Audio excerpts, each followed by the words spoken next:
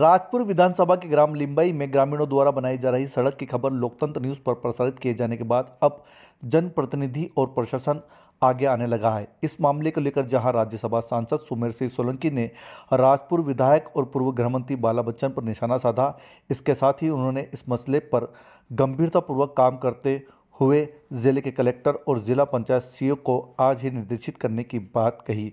उन्होंने कहा कि गाँव के लोग जो सड़क बना रहे हैं, वो सरकारी व्यवस्था के अंदर और अच्छी और बेहतर बनाएँ, इसके लिए मैं कलेक्टर और जिला पंचायत सीओ को निर्देशित करूँगा। उन्होंने कहा कि ग्रामीणों के इस कदम को वो आत्मनिर्भर भारत की ओर बढ़ता कदम मानते हैं और उन्होंने कहा कि ग्रामीण इस काम के लिए बधाई के पात्र हैं। आपने ये विषय मेरे संज्ञान में लाया है।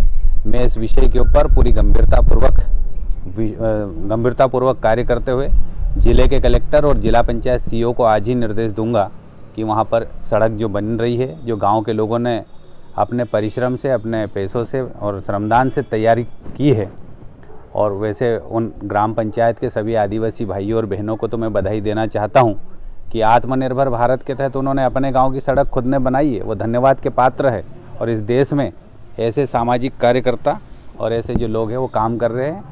वो सच में हमारे हृदय में उन्होंने जगह बना ली है।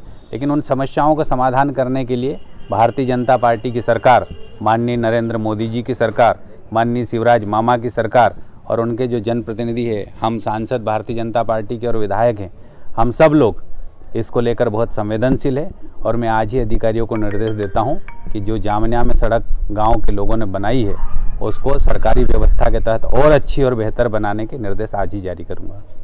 इतना ही नहीं, अब प्रशासनिक अधिकारी भी ग्रामीणों को इस काम को गंभीरता से ले रहे हैं। राजपुर एसडीएम अभय सिंह ओरिया कहते हैं कि इसकी प्रॉपर तरीके से जाँच करवा लेता हूँ। ये रोड पूर्व में बनी थी या नहीं? बनी थी तो कौन से विभाग से बनी थी और इससे अब कौन सा विभाग बनवा सकता है? इसकी पूरी जाँच कर आगामी कार्रवाई करेंगे।